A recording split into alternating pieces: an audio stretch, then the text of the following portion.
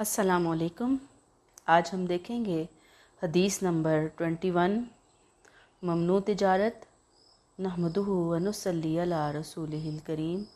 अम्मा बाद फ़ाउज़बिल्लिमिनशैतवानरजीम बसमीम रबिशरहली सदरी वयसरली अमरी. वाहलुलउक़दतमिल्लिसानी यफ़क़हु कौली. रब्बी ज़िदनी इल्मा। अन अली रदी अल्लाह तहो कौला, नहा रसूल अलैहि वसल्लम। हज़रत अली रदी अल्लाह तहो से रवायत है कि उन्होंने फरमाया, नबी करीम सल्लल्लाहु अलैहि वसल्लम ने मना किया, आम मुस्तर्री। आप सल्लल्लाहु अलैहि वसल्लम ने मुस्तर, यानी मजबूरी की तजारत से मना किया। व अन बई आपने धोखे की तजारत से मना किया। व अन बई इसमरती कबला अन तुदरिका, आपने फलों के पुख्ता होने से कबल उनकी तजारत से मना किया, उनके बेचने से मना किया। गोया, इस हदीस में नबी करीम सल्लल्लाहु अलैहि वसल्लम ने तीन किस्म की तजारतों से मना फरमाया। बे अल मुस्तर बे अल गरर और अन बे इसमरती कबला तुदरिका। यानी ये तीन हेडिंग्स अगर आप अरेबिक में भी डालें, हदीस जब आपको तर्जुमे के लिए आए तो बड़ा अच्छा इम्प्रेशन होगा। तीन बै, तीन ख़रीदो फ़रोख्त तीन बिज़नेस तीन तजारतों के तरीके मना किए गए। कौन कौन से हैं ये तरीके? डिटेल देखते हैं। बे अल मुस्तर मजबूरी की तजारत। अब आप देखें कि जो दुनिया में मुख्तलिफ़ किस्म के निज़ाम, हाय हुकूमत, निज़ाम, हाय ज़िंदगी राइज हैं, ज़िंदगी हुकूमतें चलाते हैं, हुकूमतें चलती हैं उस सिस्टम के तहत तो इसी तरह एक निज़ाम, हाय ज़िंदगी सरमाया दराना निज़ाम है। सरमाया दराना यानी कि जो सरमाएदार हैं, पैसे वाले लोग हैं, उस, इस निज़ाम की एक खसूसियत है कि बिजनेसमैन मिल जाते हैं। और नाजायज़ मुनाफा खोरी के लिए, नाजायज़ मुनाफाखोरी यानी प्रॉफिट हासिल करने के लिए, ऐसा प्रॉफिट कि जो उनके लिए जायज़ नहीं है।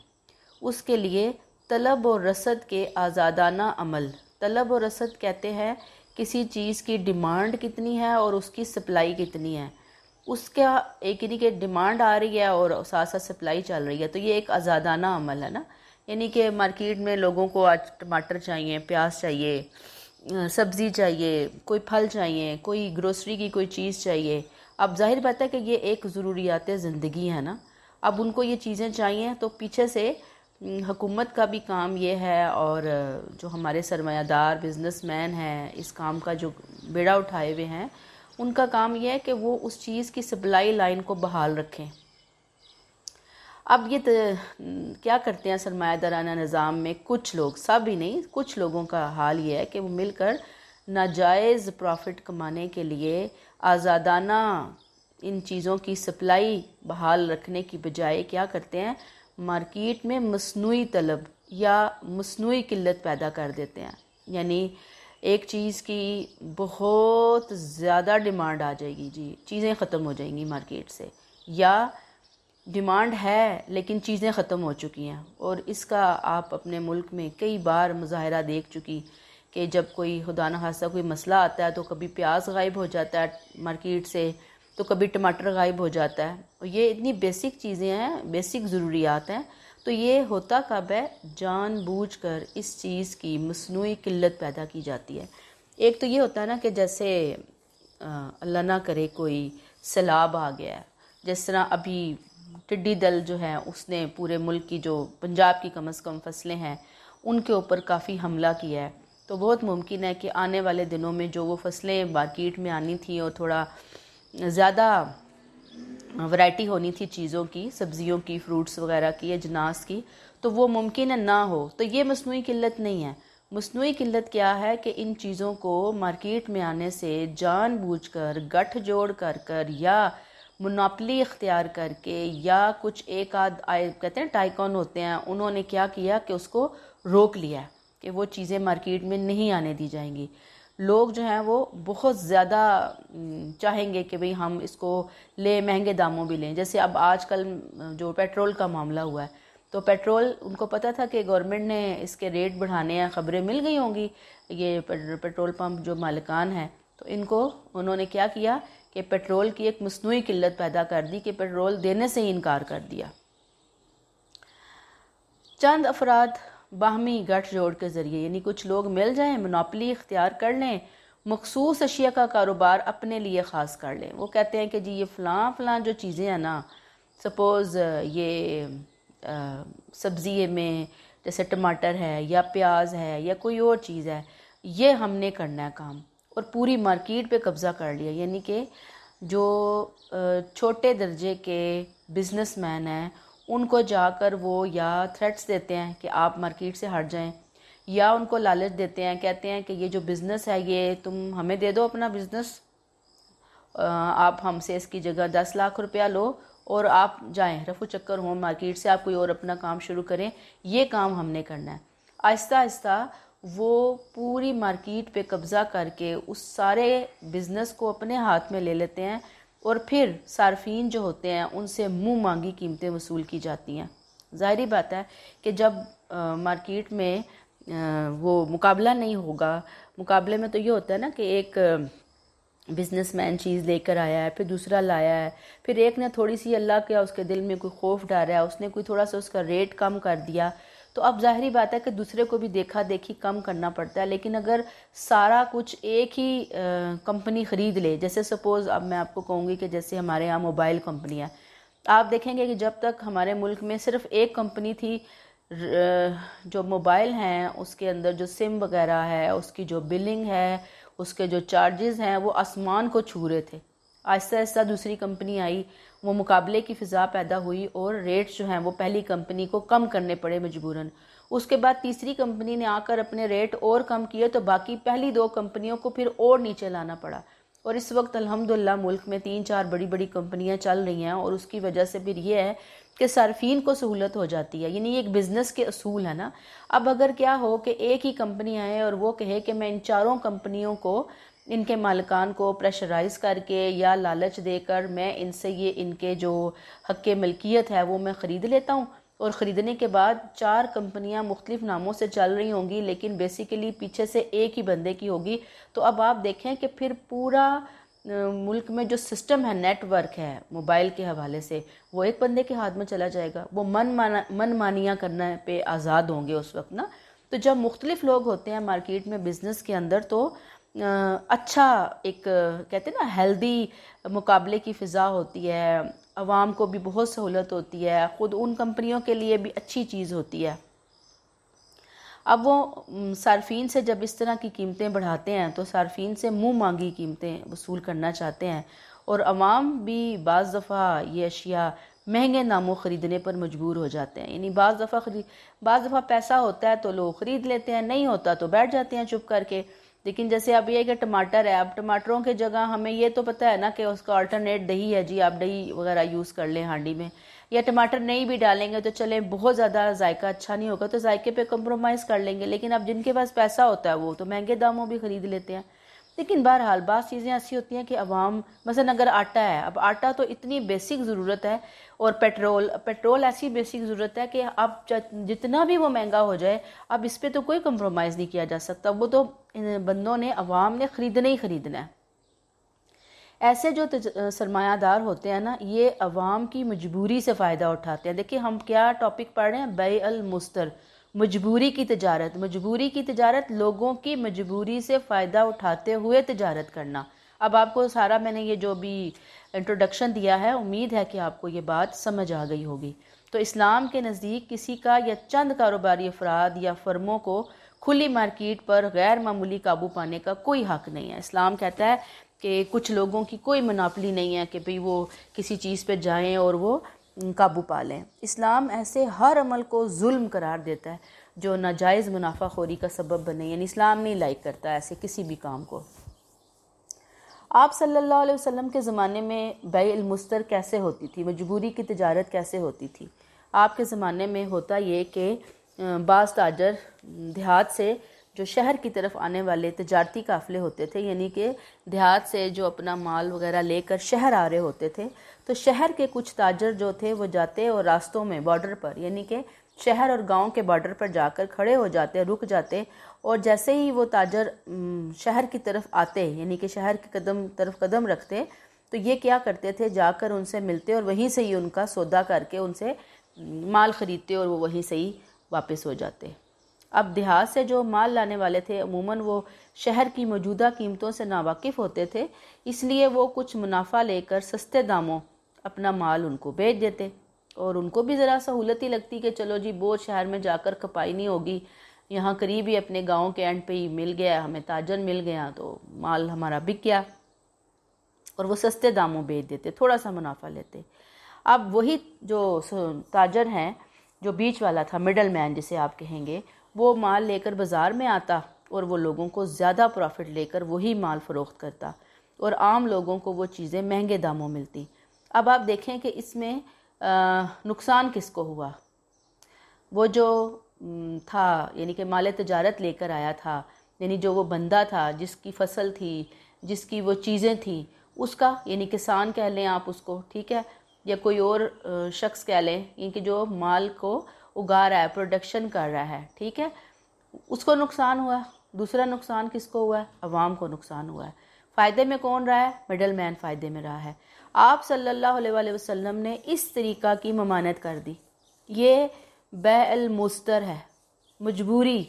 पीछे से गाँव से, देहात से आने वाले सादा लोग, उनकी मजबूरी से फ़ायदा उठाना आवाम को महँगे दामों चीज़ें देना कि उनकी तो मजबूरी है, उन्होंने ख़रीदना ही ख़रीदना है।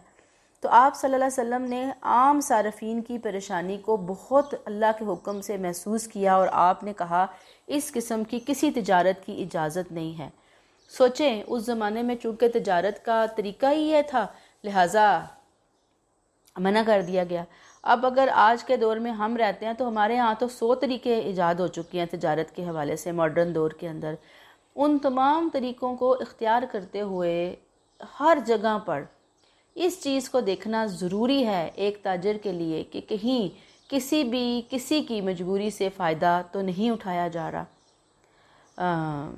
जैसे अब हमारे यहाँ मुख्तलिफ़ एन जी ओज़ बनी हुई हैं ना, वो गाँव देहातों में जाती हैं, वहाँ की ख़वातीन से मुख्तलिफ़ एम्ब्रॉयडरी वगैरह करवाती हैं और इंतहाई लो रेट के ऊपर। अब वो बेचारे वहाँ पे तो खाने के लाले पड़े हुए होते हैं बाज़ जगहों के ऊपर।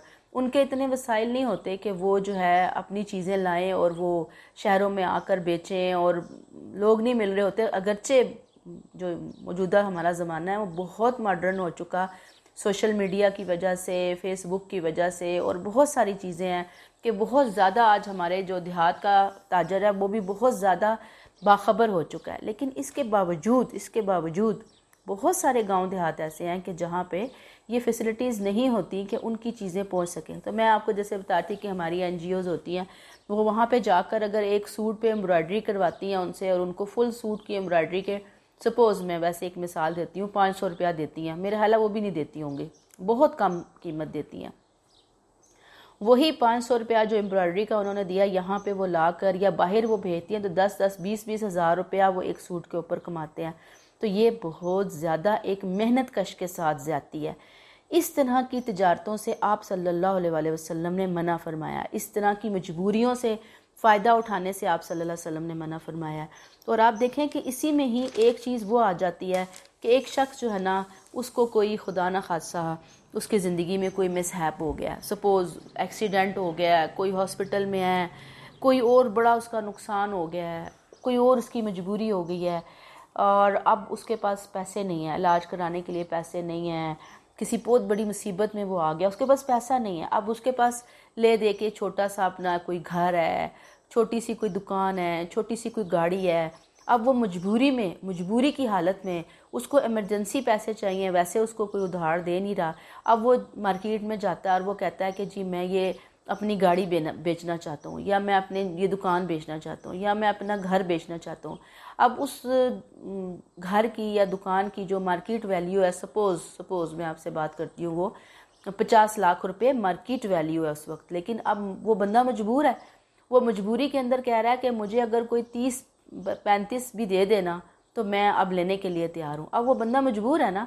अब जिसके पास पैसा है तो वो क्या करेगा? वो तो छलांगे लगाएगा। वो कहेगा, पचास की चीज़ यानी उस वक्त उस चीज़ की सेकंड हैंड चीज़ की भी मार्केट वैल्यू पचास में है, लेकिन वो बंदा बहुत मजबूर था। उसने अपनी मजबूरी की वजह से वो चीज़, उसे फ़ौरन पैसे चाहिए थे। जैसे मैंने आपको कहा कि बाज़ एमरजेंसी होती है कि जान बचानी होती है। तो वो पैंतीस में चीज़ दे के जा रहा है, तीस में दे के जा रहा है, भाई उसकी ऐसी क्या मजबूरी है? अल्लाह ना करे, अगर किसी ने कुछ चोरी करके लाई हुई है चीज़ तो फिर तो समझ आती है कि जो ओने पोने दामों उसने बेची निकल गई। लेकिन अगर एक मजबूरी की वजह से वो चीज़ बेच रहा है और जो शख्स ख़रीद रहा है, वो फिर छलांगे लगाता, फिर रहा है कि जी देखो इतना मैंने तो मतलब मेला ही लूट लिया है कि तीस में मैंने वो चीज़, पचास वाली तीस में ख़रीद ली। तो ये किसी की मजबूरी से जो फ़ायदा उठाना है ना, ये बहुत बड़ा जुल्म है। अगर आपको ऐसा कोई मजबूर नज़र आया तो उसको अच्छे तरीके से गाइड करके देखें, अगर ख़ुद ख़रीद सकते हैं तो। ठीक है, नहीं तो फिर किसी ऐसे बंदे के हवाले करें कि जो कम अज़ कम चले पचास नहीं तो पैंतालीस तो दे, अड़तालीस तो दे उसको। अब आपको उम्मीद है कि बात समझ आई होगी। जिस चीज़ से आप सल्लल्लाहु अलैहि वसल्लम ने रोका है वो किसी की भी मजबूरी से, फ़ायदा उठाने से आप सल्लल्लाहु अलैहि वसल्लम ने रोका है।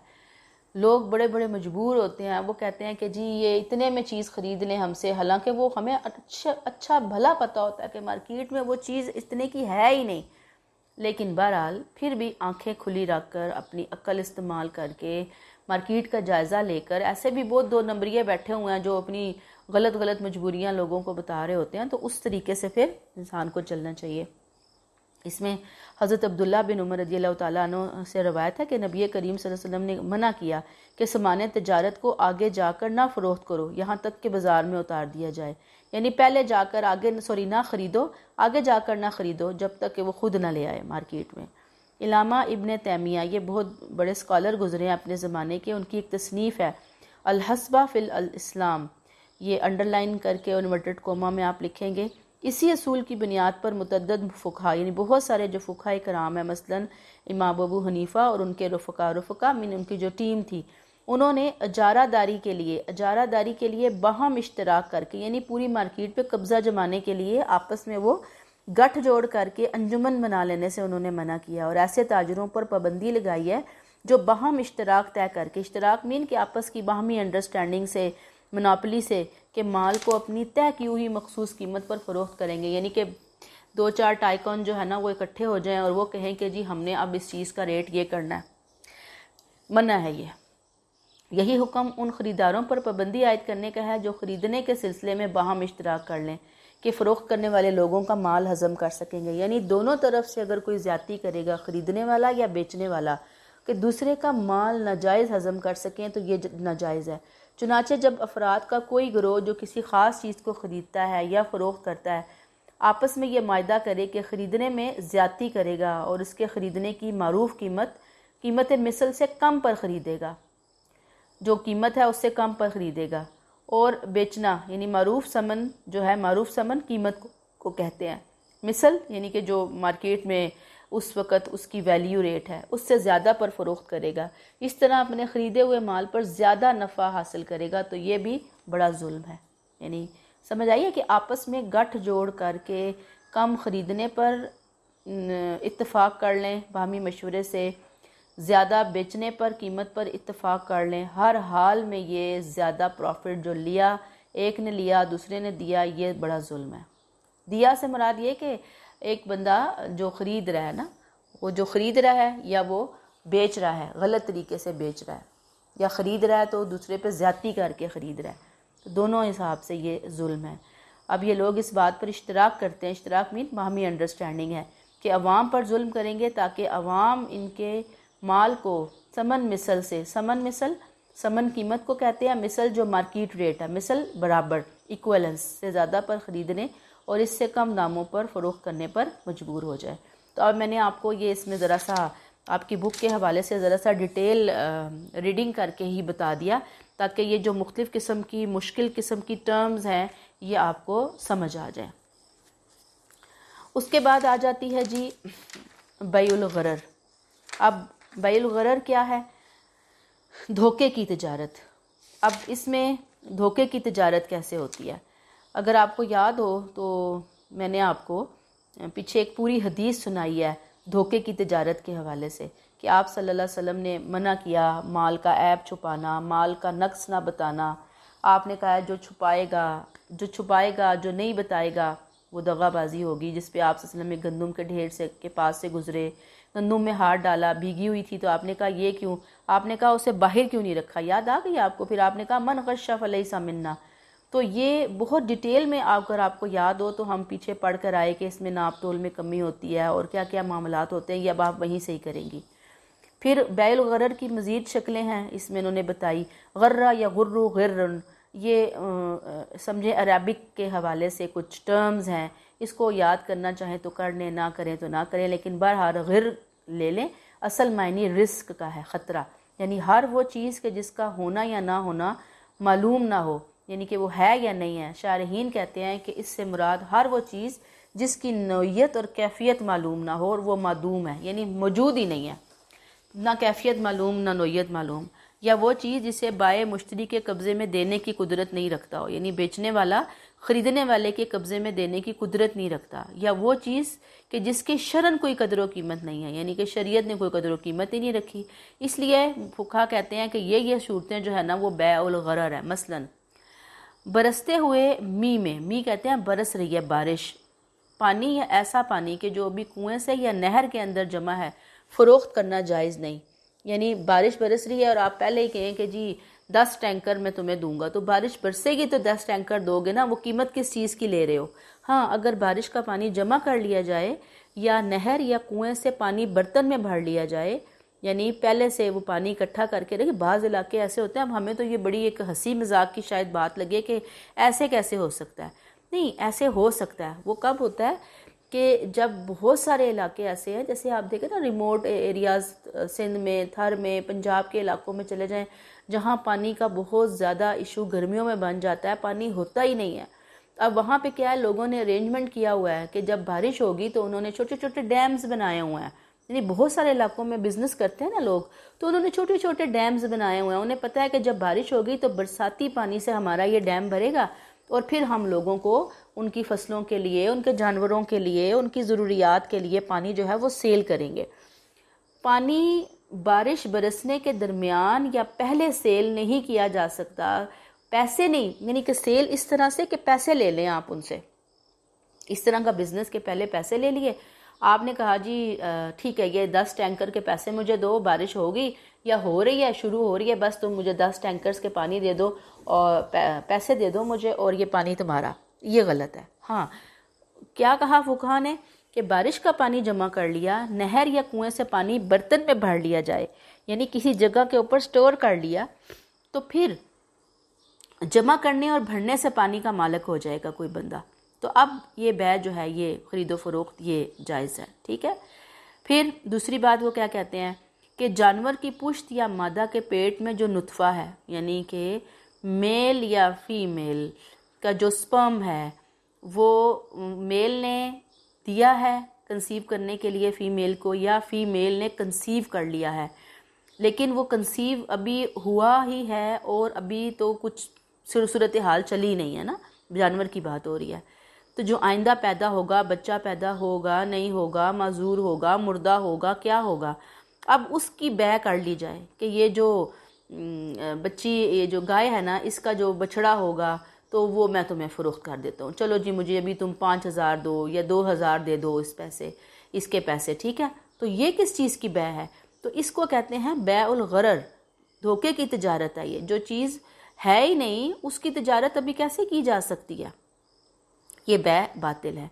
फिर इसके अलावा वो परिंदा जो हवा में उड़ रहा है, यानी हवा में उड़ रहा है, आप कहेंगे जी वो दस परिंदे उड़ रहे हैं तो वो मैं अभी आपको ना अपने वो भेजता हूँ शूटर को और वो शूट करके लाता है इनको और फायरिंग करके और फिर बस मैं आपको ये दस परिंदे आपको दे दूँगा। आप मुझे इसके लिए जो है ना दो हज़ार रुपया दे दे। दो हज़ार रुपया खाया, परिंदे हाथ आए आए ना आए ना आए, वो बंदा पैसे लेके गायब। इसीलिए नबी करीम सल्लल्लाहु अलैहि वसल्लम ने मना किया और फिर हमारे जो फ़ुका कराम ने, उन्होंने मज़ीद इसके ऊपर फिर वर्क किया और उन्होंने कहा, उस ज़माने के हवाले से जो चीज़ें हो सकती थी मुमकिन उन्होंने उसको हाईलाइट कर दिया। और ये जो चीज़ें हाईलाइट हुई हैं, ये आज के ज़माने की नहीं हुई कम अज़ कम हज़ार, बारह बारह सौ साल पहले की चीज़ें हैं जो कि रिटर्न आई हुई हैं फ़िकी किताबों में। आज जिस दौर में हम और आप हैं, आप इसमें मैं आपको बार बार बताती हूँ कि इस कदर मॉडर्न दौर है कि इसमें बैल गरर की दीगर बेशुमार किस्में राइज पा चुकी हैं। और फिर उसके अलावा एक ज़िंदा जानवर का गोश्त है अस्तफ़िरल्ला उसकी चर्बी है, ज़िंदा की चमड़ी है, सीरी पाए हैं, ज़िंदा दुम्बे की चक्की है ऊन है जो अभी भेड़ के जिसम के ऊपर है, या कहते हैं मोती है जो अभी सीप के अंदर है तो घी है जो अभी दूध से निकाला नहीं गया। यानी ये बेशुमार चीज़ें थी। लोग बड़े बड़े फ्रॉडिये रहे हैं। तो इस तरह की वो ख़रीदो फरोख्त कर लेते थे कि दूसरे को धोखा दिया, धोखा दे के ये जा, वो जा। तो इसमें क्या कहा गया? इन स्कॉलर्स ने कि इन तमाम चीज़ों की बै ममनू है और ये बैलगर में दाखिल है। ठीक है? तो यहाँ पे हम इसको रोक देते हैं।